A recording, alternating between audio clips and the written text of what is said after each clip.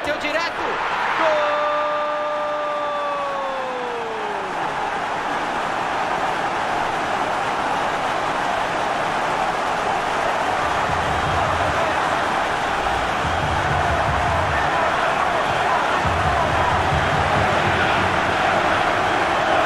Show de imagens para você. Olha a repetição do gol por outro ângulo.